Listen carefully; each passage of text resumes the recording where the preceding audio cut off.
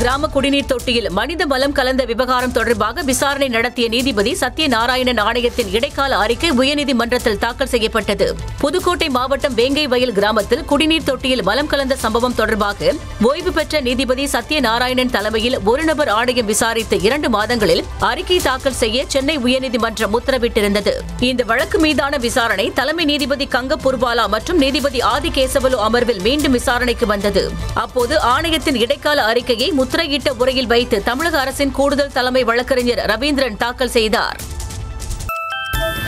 செய்திகள் நூறு. நாள்தோறும் காலை ஆறு பத்து மணிக்கு மற்றும் இரவு ஒன்பது மணிக்கு. நமது நியூஸ் தமிழ் தொலைக்காட்சியில் காண தவறாதீர்கள்.